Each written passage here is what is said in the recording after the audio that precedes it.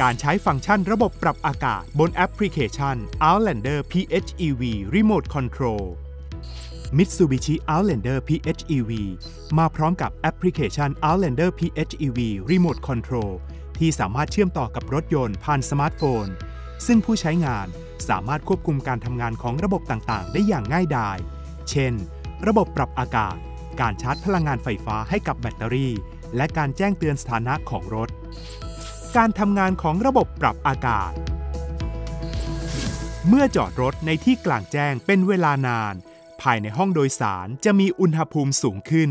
แต่สำหรับ Outlander PHEV ผู้ใช้งานสามารถสั่งเปิด หรือตั้งเวลาการเปิดระบบปรับอากาศล่วงหน้าได้จากสมาร์ทโฟนของท่าน เพื่อให้ห้องโดยสารมีอุณหภูมิเย็นสบาย ก่อนที่ผู้ขับจะเข้าไปในตัวรถ ขั้นตอนทำอย่างไร มาดูกันครับ เมื่อเปิดฟังก์ชันระบบปรับอากาศจากแอปพลิเคชัน Outlander PHEV Remote Control หน้าจอจะแสดงเส้นสีฟ้า เป็นการบอกสถานะว่า ระบบปรับอากาศกำลังทำงาน การตั้งค่าตารางทำงานระบบปรับอากาศ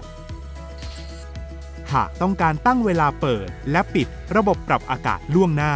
ตามวันและเวลาที่ต้องการ สามารถทำได้โดยเลือก ตารางเวลา หรือ schedule จากนั้นเลือกเวลา วันตามความต้องการ ผู้ใช้งานสามารถตั้งเวลาได้ทั้งหมด 5 ช่วงเวลา และสามารถเลือกวันในการเปิดเครื่องปรับอากาศได้จันทร์ถึงอาทิตย์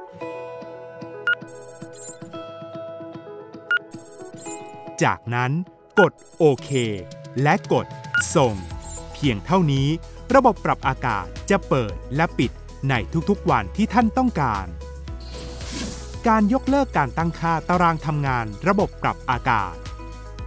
การยกเลิกการตั้งค่าตารางการทำงานของระบบปรับอากาศ สามารถทำได้ 2 รูปแบบคือ 1. ยกเลิกทุกเวลาที่ตั้งไว้ เพียงกดที่เครื่องหมายถูกที่แถบ Schedule เวลาที่ตั้งไว้ทั้งหมดจะถูกยกเลิก และเมื่อต้องการกลับมาใช้ใหม่ ให้กดซ้ำ 2. ถ้าผู้ใช้งานต้องการยกเลิกบางช่วงเวลาที่ตั้งไว้ เพียงกดที่ลูกศรขวามือของแถบเวลาที่ต้องการยกเลิก และกด off เพียงเท่านี้ช่วงเวลานั้นก็จะถูกยกเลิก หลังจากนั้นกดส่งเพื่อให้ระบบทำการสื่อสารกับรถยนต์ ถือเป็นอันเสร็จสิ้นครับ การเปิดการทำงานระบบปรับอากาศทันทีสำหรับการเปิดระบบปรับอากาศทันทีที่ต้องการ สามารถทำได้ผ่านทางหน้าจอสมาร์ทโฟน เช่นเดียวกัน โดยมีขั้นตอนดังนี้ครับ เพียงกดปุ่มคำสั่งที่อยู่กึ่งกลางของหน้าต่างการปรับอากาศ Climate จากนั้นให้กดที่ปุ่ม เปิดระบบปรับอากาศ เพียงเท่านั้น ระบบก็จะเริ่มการทำงาน ในกรณีระดับแบตเตอรี่ขับเคลื่อนไม่เพียงพอ ระบบปรับอากาศอาจไม่ทำงาน Drive your ambition. Mitsubishi Motors.